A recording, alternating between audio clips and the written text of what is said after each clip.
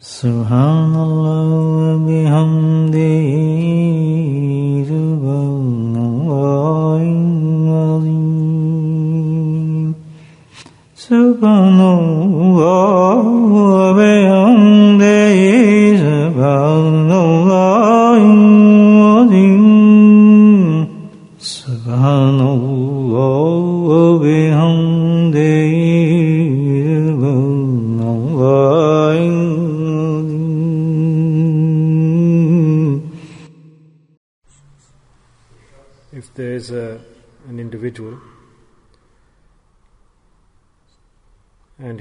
Journey, on the safar, and there are two things for a journey. One is the musafir, the person who's on the journey, the traveler, and also he has to identify where he is going, the destination. So the destination, for example, if a musafir, if his destination is uh, London, and he has to arrive to London, he wants to travel to London. A very urgent uh, task, an interview, an important meeting. He has to go by a flight, so he estimates, I'll get there by four in four hours' time. I've got a good car. I'll use a car. And he starts his journey. He puts petrol in the car. He's got a very nice car, and he's driving fast. And he starts to travel speedily. He gets onto the motorway, and as he's traveling, he sees that the traffic starts to increase and the speed slows down. Slowly, slowly, slowly, he grinds to a halt. Long queue, and they realize that there's an accident further up. And as the, the one and a half hours is lost, then the traffic cleared, then he traveled, he's got late. Then, as he started to drive faster, then another sign came roadworks. Then some restrictions, the lanes were reduced, obstacle, cars ground to halt again. Long queue, traffic queue, and more late. Another hour, hour and a half, then he carries on. It's a long journey to London. Then on the way, another situation arose, then another restriction. Eventually, ultimately, when he arrived to London, then his estimate was what, a few hours? Six, seven hours late he was and his interview or the task he had, the meeting, due to being late, he failed in his mission, in his objective. So, this is an example, a common example of the journey uh, of this dunya, common journey that is undertaken by lots of people. But the real journey is not this journey, the real journey for us, we are travelers, we are musafirin, and that is the journey to the akhirah the journey to the hereafter. And the destination of our journey, which we have been told we are journeymen, we are travelers, and our manzil, our destination is what? It is the pleasure of Allah, the rada of Allah. Allah says, radiyatan mardiyah. That when you get to your destination, you should be in such a condition that I'm happy with you, Allah says, and you should be happy with me. So, this is the real objective. This is our story, my brothers. We are travelers in this way, and this is the destination we need to attain. Now, just like the journey in the world, we need uh, means. We need a car, nice car preferably, and we get everything together and we travel. In the same way, Allah Ta'ala said, I've given you the means for this journey to the hereafter. Beautiful amal I've given to you. Beautiful deeds I've given to you. They are faster than the car, the nicest car, and they will shoot you really fast into the hereafter. They'll take you. Um, you got salah, fasting, umrah, hajj, recitation of Quran, dhikr Allah, remembrance of Allah. Subhanallah. So these are all deeds Allah says I've given to you. These are just like that nice, beautiful, fast car. Sit into this car, into this vehicle, and go on the journey. Inshallah, when you get to the manzil, the hereafter, the destination, you will come to me in such a way, the way I want you to come to me. Allah says. Okay. So we adopt that as well, that journey, just like he took a car, nice car for the journey, and he started his journey. He got there late, didn't he? Why? Was in the way. Barriers came, restrictions came, traffic came, and he couldn't get there on time. So we have salah, fasting, hajj, and zakat. Allah's given us all these beautiful deeds. He's made us embark on the journey. Even then, we don't arrive to the destination. Why? Just like he had obstacles on the journey, in this journey there are many barriers, obstacles, hurdles. Allah's given us a warning that on this motorway towards the hereafter, when you travel, I've given you very nice transportation. Yes? And we should see here that good deeds that we do, Alhamdulillah, we implement 90%, 99%. We do amal, don't we? Hajj, zakat, all the actions we do. Amal. But how many people are then successful? Tell me. How many people? How many people will arrive to this station? Allah Ta'ala has given the sign, that person who arrives to that radiyatam mardiya, there's a sign for that person. Shall tell you, we'll say, yeah, yeah, we're all going to the hereafter. But there's dalil, we have to present the proof. Allah says, if you're saying you are the people who've attained Allah's pleasure, show us the proof. Allah says, show us the proof that you've got my pleasure. So, we hear about the awliya, the friends of Allah, pious people, we hear their names. These are those people, isn't it, who attain those levels. What's the reason they got to that position? The reason is that, just like the, the person who's on the journey, the same happens to them. There are hurdles and obstacles in this path. So when we travel with our deeds, then due to the barriers on the way, we can't get to the end point, to the hereafter, to Allah's pleasure. Do you understand what I'm saying? Because of the hurdles on the way, we can't overcome them. I'm trying to explain simply so we understand. Okay? So, what's the reason that we have all the amal in our, in our records, but why don't we get to the pleasure of Allah subhanahu wa ta'ala? Why? Because radai ilahi, what is the sign of Allah's pleasure that somebody, if we realize that this is the sign that Allah is happy with me. What's that? There's one very clear sign Allah said in the Quran that if you want Allah's pleasure, the sign for that is this, that whoever Allah Ta'ala is pleased with, that when Allah is pleased with His servant, then He has one quality, attribute, characteristic, that Allah subhanahu wa ta'ala, He is happy with every action of that individual every action.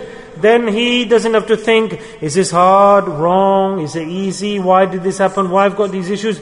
He goes beyond that. He says, Allah, whatever you've brought to me in my life, I'm happy with that, and I'm totally uh, joyous. In, uh, joyful that whatever you give me in my life, Allah, I'm happy and content and satisfied. Allah says that if all your life you are happy, with everything I give to you. I give you difficulty, you're happy. If I give you distress, you're happy. If you are in poverty, you're happy. Allah says, I give you big challenges and tests, you're happy. So how will your Rabb be unhappy? Allah says, if you're happy with all that I've given you, then I'm happy. And then Allah says, فَادْخُلُ الْجَنَّةِ Then go into Jannah, and I will let you go into paradise with the good people. So now let's look at our lives. We have amal, many deeds that we practice. But have we arrived to this position that we are happy with whatever Allah has given to us in our lives, so that Allah can be happy with us? Do you understand what I'm saying? Let's analyze our lives. That this is not something to be scared about. We're alive, we're breathing, life is remaining. This is such a journey, this is such a journey that very quickly this journey is progressing. That a plane, if we grab hold of this point today, then within tonight, this night, we can get to the destination of Allah's pleasure. Allah says, I've given you such a great shortcut to get to my pleasure. Deen is not hard, it's very easy. It's not a long route. If we understand this point today that Allah Ta'ala has explained to us, it's not hard to understand. Here, while we're sitting, we will succeed. Allah will become pleased with us straight away. Allah will announce that I'm pleased with you. So what we realize is not just amal, deeds that gives us Allah's pleasure. There's another point. It wasn't his car. It wasn't his petrol. He had everything. He had the methods, the resources, but there was a restriction. He couldn't get to his tar- his uh, objective because there were barriers. So it's not the amal that will get us to the point, rather the barriers that come on the way to Allah. We need to break those barriers down. Say subhanallah. That's what we need to focus on. That's what we need to pay attention to. When a musafir is on the journey, he needs to look that what's the weather, which route shall I take, which way should I go. The sensible traveler, if he just closes his eyes and goes blindly, then he'll get problems on the way. But if the person plans, looks ahead, looks uh, the weather reports, the travel reports, the traffic reports. Tomorrow I've got a flight at this time. Let me see which way, which road, which route is best for me. The traveler does this, isn't it? In the same way, the servant to creation of Allah, the musafir who's traveling to Allah subhanahu wa ta'ala, then he's cautious in his life. You know, what are the restrictions that are going to come on the way? What are the barriers that will come on the way? What are the things that are going to take me off the track? There are many things that will divert me. That even when I do one sajda, Allah says that if you do one sajda to me, I am close to you that what a great vehicle that is. So why don't we get close to Allah? Because there's something preventing us getting to Allah. There are barriers, the hurdles that we are not jumping over. We're not succeeding in overcoming these barriers. So what are these barriers? Just like the barrier that he had an accident or somebody had an accident, there was traffic or roadworks. What are the barriers on the way to Allah? That's what we need to think about. Allah has told us today, those barriers to Allah's nearness are, Allah says, my disobedience, sins, sins. Yeah, you, you start the journey, you travel, you worship, but when the barriers come, the hurdles come in front of you, they're Allah giving you the tawfiq to pray salah. But after that, you commit the sins at the same time. That your car stops then. You can't drive further because you've committed a sin. How will your car move forward? Allah says, I allow you to do Hajj. I gave you the ability to do Hajj. After Hajj, you go back towards the sins. So how can you get to me? Because another barrier, you've, you've hit the barrier. You haven't gone past it. So the enjoyment is when a person prays salah after praying salah, no barrier should come in front of him. He should not commit any sins. This is not difficult. Totally not hard at all. This is where we fall into the trap. And this is where we fail. That's where lots of people will fail in the hereafter. Yes, the biggest loss of the person who's on the journey, he works hard in life and then he keeps on drowning his deeds. Amnu, Allah says that don't waste your deeds. Don't throw your deeds away. Allah says, Oh, you people of belief, I'll give you tawfiq to do great deeds, such amal. Why do you commit sins? Why do you disobey me? Why do you shun what I tell you? If you if you shun what I'm telling you, if you disobey me, then the barrier will come. You'll hit the barrier, then you'll go into reverse. You won't be able to travel forwards, and you'll lose out. As Abu Hurairah radiallahu anhu said that uh, Hazrat Hassan radiallahu narrated, this is a hadith to listen to, that when an individual, when a person, when he becomes occupied with unnecessary actions, Yes, unnecessary actions when he gets occupied and busy, or he makes himself busy with wasteful actions, unnecessary actions, then Allah subhanahu wa ta'ala, from Allah's direction, what happens? What comes? Allah subhanahu wa ta'ala, Allah ta'ala, all his ma'mulat, all of his positive issues, positive affairs, they are eliminated. Adab is given to him, and he is linked to munkar to wrong actions. This is a big hadith we need to understand. That when a person does unnecessary actions, wasteful actions, actions that will not give him any benefit, then from Allah Ta'ala's direction, Allah says that his connection with Allah, that he created with his deeds, Allah says, I reject them. I reject his deeds and I break that connection, Allah says, with my servant. And I make him occupied with adab, with punishments, with distress, with difficulties. Yes, so unnecessary actions. Another Sahabi radiallahu anhu, he narrated a similar hadith that when a person doesn't do good actions, then he loses the capability to speak the truth, to do good. He loses that, that right to speak good and to do good. He goes into darkness. So my brothers, the unnecessary actions, uh, sins, to do sins, we need to leave sins. We need to reject sins. We have to do this. So unnecessary actions, there's a, a very unique point this is. We need to pay attention to this that uh, any action we do, any task we do which is not necessary, when you become busy in that, occupied in that, what is something that's not necessary? What's a wasteful action? What are the actions that are idle, that make us bone idle? We say, okay, okay, fine, we understand that. But what's unnecessary? So the definition of unnecessary action is such an action that you're occupied in, or busy in, or doing, which doesn't give you any benefit for the hereafter. That's the definition. Yes? Which has no link to Allah subhanahu wa ta'ala. Yes?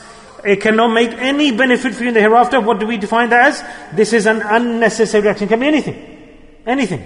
You sat down, um, or you sat down for three hours chatting to someone, salah passes, comes and goes. So these are unnecessary actions because you are not relating what you're doing to the hereafter. You are involving yourself in things in the dunya, in the world, and these four hours Allah gave you in your life, Allah's counting the time.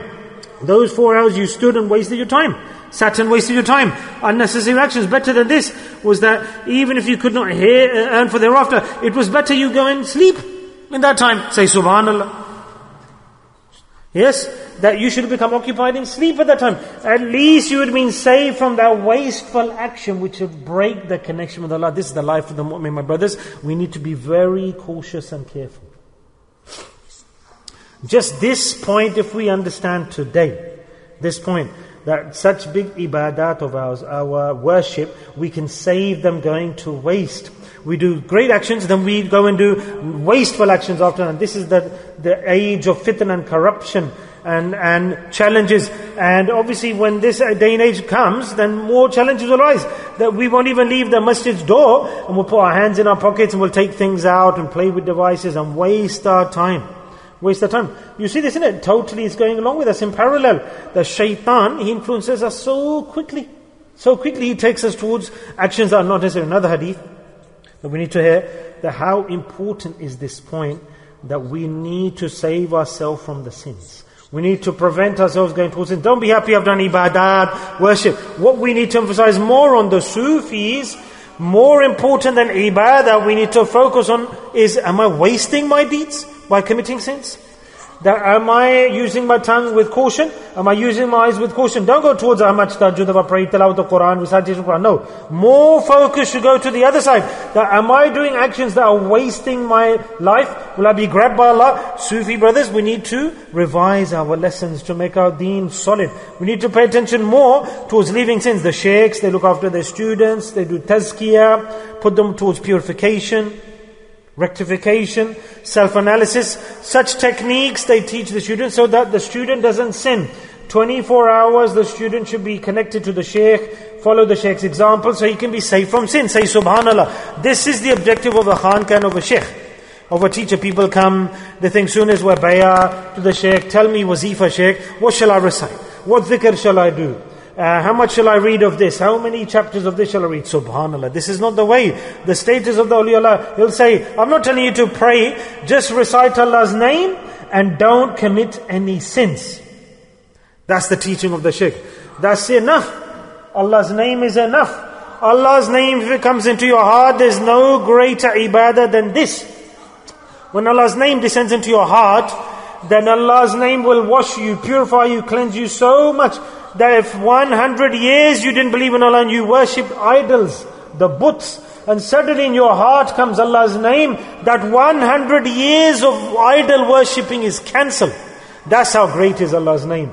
Is this not enough power of Allah's name to cancel? Hazrat Thanvi Sahib somebody said, Hazrat, that you said um, 50,000 times I recite Allah's name, sometimes 100,000. This is great achievement. Great. He said, but Hazrat, this is the tarbiyat. This is the, the sheikh style. He said, does this mean that um, I can't see any benefit? 50,000. And what do we look at as benefit? Therefore, I'm reciting Allah's name, I've got bayah with the sheikh, I'm doing so much dhikr. We have our own standards and criterion of benefit. Ask the sheikh who you're with, what's the benefit of the dhikr I'm doing or the dhikr I've done with you, my teacher? What will I get for this dhikr that I'm doing? What will I feel? What will I attain?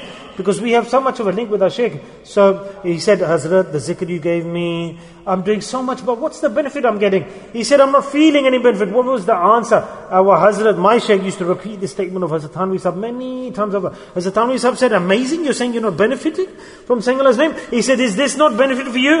Is there a greater benefit than this? That Allah is allowing you to recite His name. Subhanallah. Allah is allowing you to recite His name, to remember Him. Say Subhanallah. Subhanallah. Go and ask a person. From millions of people, millions of people, they don't even know how to say Allah. And we have the tawfiq. Alhamdulillah. One and a half years old child, two years old. I will tell you, nine month year old child, I saw him saying Allah. Is this not a great ni'mah? And a person who says Allah, is this not a momentous achievement? Don't we understand the fadail of just saying Allah, what are the virtues and the rewards and the virtues, they never end. They never end. They will never end. That if somebody has recited Allah's name, what have we come here to do? Why are we sitting here? I've not come here to give a speech. We aren't here for a gathering, big majlis. We're not here for no other purpose. We have no link with each other, no relationships, friendships, dawah. One objective. We haven't come here to pray salah. We haven't come here for anything. One objective task we're sat here for. And Allah knows. Allah knows our intentions. Allah knows why we've come here. Allah knows why we're sitting here. One objective task that we all gather together to recite Allah. That's it. That's what we're here for. To recite Allah's name. That's why we're sitting, isn't it? We've got no other objective, have we? So Allah says, if you are sat here for this purpose and Allah bears witness, come angels gather together. I make you witness. All these individuals are forgiven them. I've forgiven them, subhanAllah. Allah says, is this not enough for you? And then the angels speak out loud, Allah, that's fine what you're saying, you've forgiven them. Massive achievement, brothers. Forgiveness is a massive achievement. Look at your faces, look at myself, I look at my own self. That can I be forgiven? Am I worthy of forgiveness? In this one majlis, just because we had we came to recite Allah's name, that's how much barakah is in this name of Allah. So the angels say Allah, but one man, he didn't come to recite your name. He didn't come to do dhikr, he just came to see what are these people doing? What are they doing? Let me see. He was a spy or he just came to waste time. He had no need Allah to do dhikr. He just sat there wasting time. Allah, we have to give you the report, the feedback. So what about him? What's your, what's your verdict on him, Allah? Allah will say, my angels, this majlis so great indeed is such a, say subhanallah. Subhanallah. Allah says this gathering is so full of blessings, barakat, that a person comes in with any intention under the sun, even he will be forgiven. Subhanallah. Subhanallah. This is Allah's name, the barakah. This is the offshoot of Allah Ta'ala's name. Is this not enough benefit that we are just reciting Allah's name? Minimum.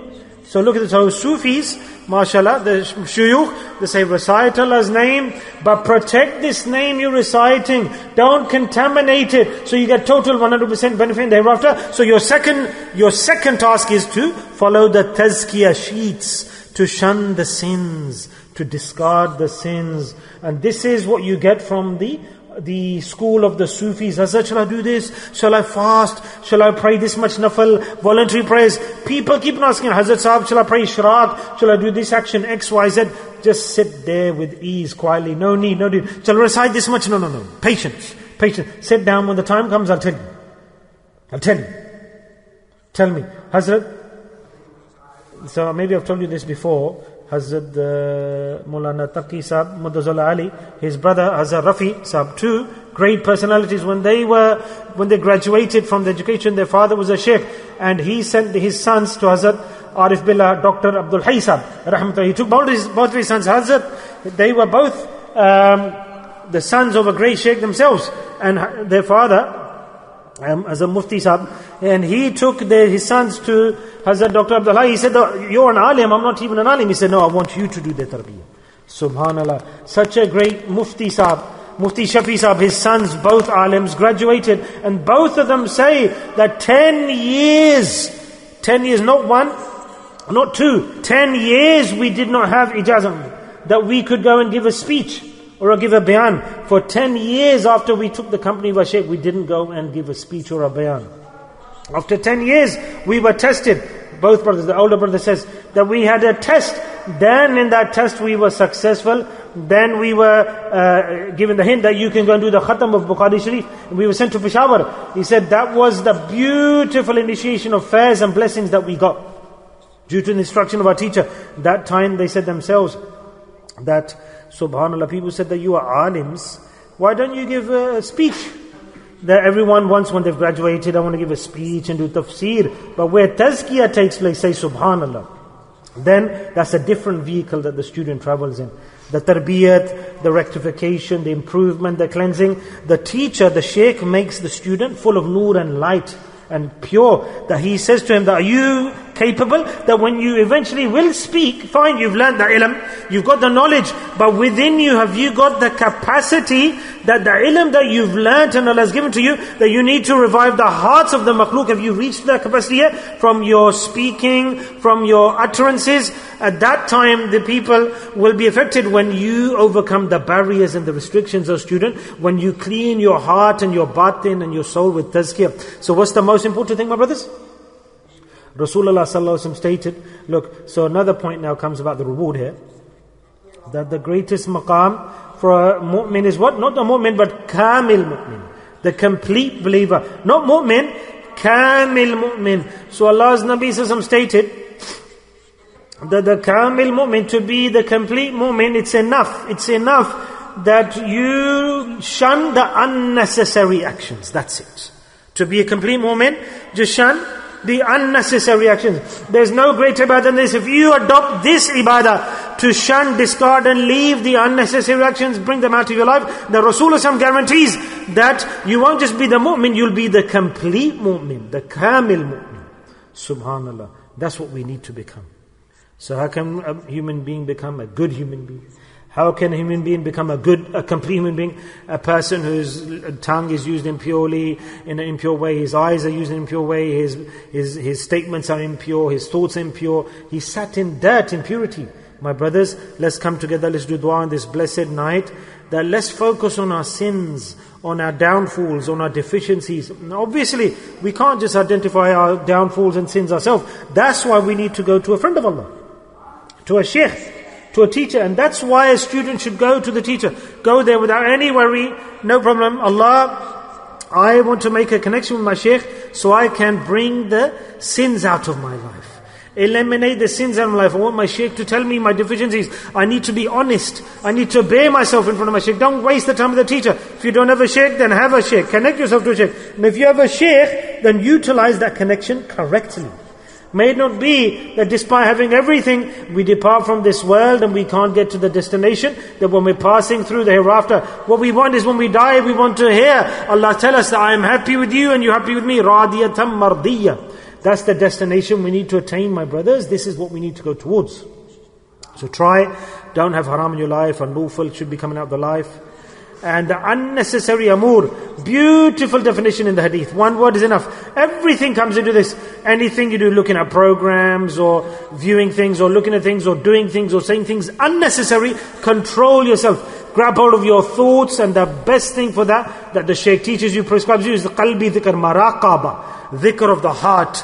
Allah has given maraqaba. Maraqaba, silent dhikr of the heart, has such a great effect. This is that method of remembering Allah. Maraqaba. There are many ways of doing dhikr. Quran is dhikr, tilawa is dhikr, tasbih is dhikr. All of these are dhikr. People say this is dhikr, that's dhikr. But there's no comparison to maraqaba. Look here.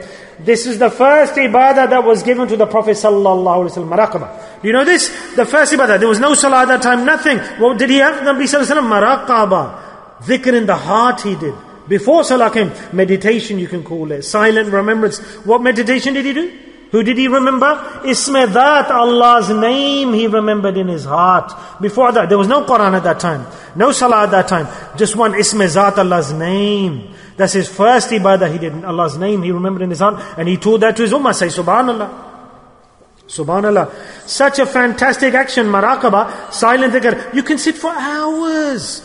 Hours the fuyuz, the blessings of dhikr will permeate through your body, your life. It will cleanse you. It will clean you. And from maraqba, when you do maraqba, shaitan will run. He will sprint. He will try to take you away from dhikr, shaitan. No, no, no, don't do maraqba. Do tasbih. Recite Quran. Say to shaitan, leave all of that. My, my sheikh told me do maraqba. Maraqba is the best. Quran is in this. Everything will come into this. Maraqba.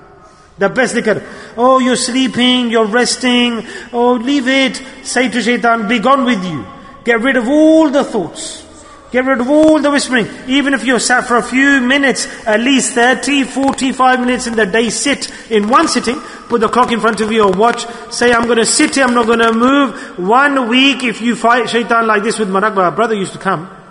New, he was new, attendee. And he said, Marakba is hard. It's difficult. He said, I can't do Maraqba. Tell me a tasbih so I can do tasbih. Now his hal was this. After 40 days when he came back, he said that the people in my house, my house folk, they're looking for me. Three hours I'm sitting in Maraqba, silent dhikr of the heart. They're looking for me wherever I gone. His niyyah was clean, pure. And this is how you do. We say it's hard, I can't sit for a few minutes, I can't concentrate. Tell me something else. Then this is weird. This is weird.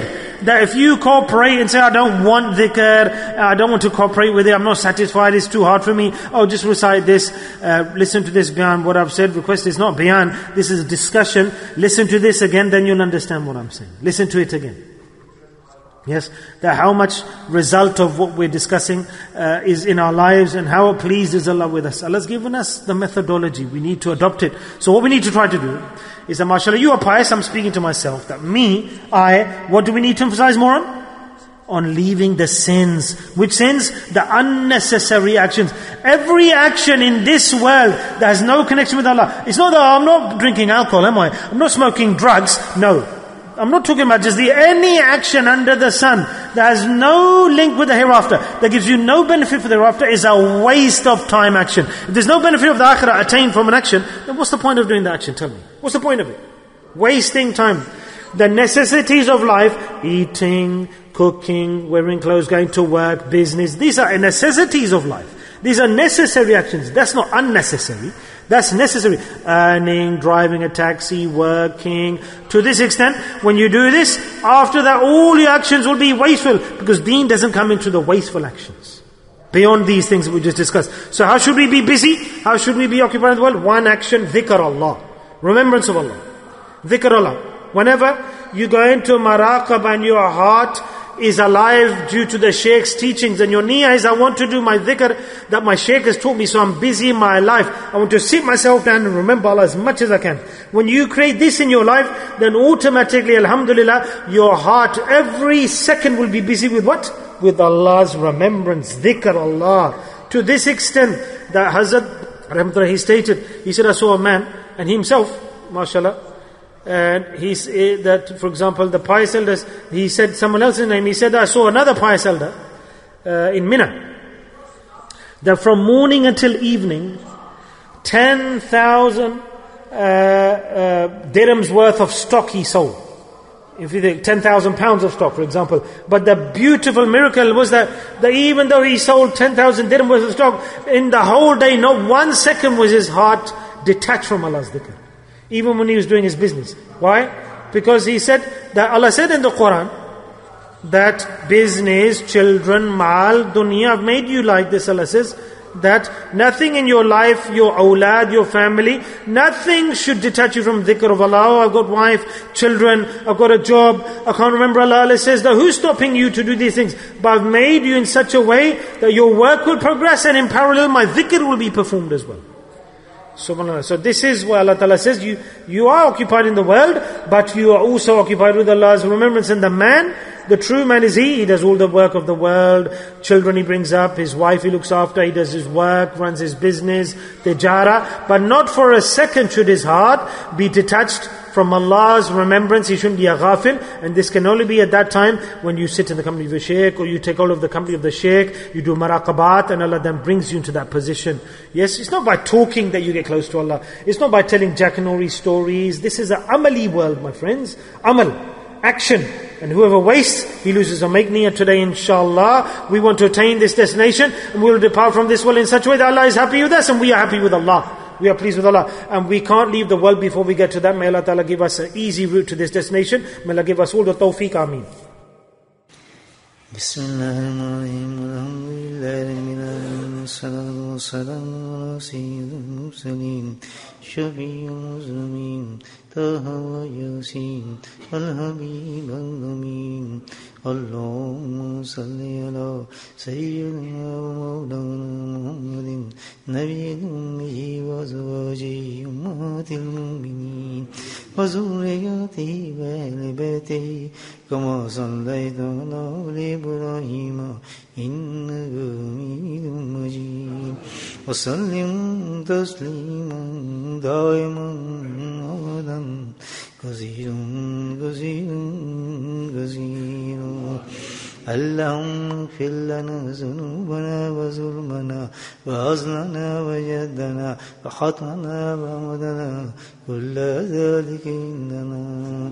اللهم ربنا آتنا في الدنيا حسنة وفي الآخرة حسنة. وقنا عذاب النار وقنا عذاب القبر وقنا عذاب الحشر وقنا عذاب الميزان. وادخلنا جنة مع الأبرار. يا عزيز يا غفار يا رب العالمين يا رب العالمين يا رب العالمين. ربنا لا تزغ قلوبنا بعد إذ هديتنا وهب لنا من لدنك رحمة إنك أنت الوهاب. يا مصرف القلوب صرف قلوبنا على طاعتك. اللهم صمتنا على الإيمان وأمتنا على الإيمان وأشرنا يوم القيامة مع الإيمان. اللهم اهدنا الصراط المستقيم. اللهم اهدنا الصراط المستقيم. اللهم اهدنا الصراط المستقيم. اللهم استعملنا بسنته ونفعنا بمحبته وأشرنا في يا كريم. اللهم إنا على ذكرك ve şükrika ve husn ibadatika ya kadiyel hacat ikte hacatina ya dafiyel beliyat itfa beliyatina ya şafiyel amurat işfa muradina ya şafiyel amurat işfa muradina ya şafiyel amurat işfa muradina. اللهم عافنا في بدني اللهم عافنا في سمعي اللهم عافنا في بصري. لا إله إلا أنت. ربنا هب من أزواجنا وذرياتنا قرة أعين واجعلنا للمتقين إماما. اللهم دمرهم هما كما ربياني صغيرا. اللهم اغفر لنا ولوالدينا وأستاذينا ومشايخنا وجميع المؤمنين والمؤمنات والمسلمين والمسلمات. الأحياء منهم والأموات يا الراحمين سبحان ربك رب العزة عما يصفون وسلام على المرسلين والحمد لله رب العالمين. آمين.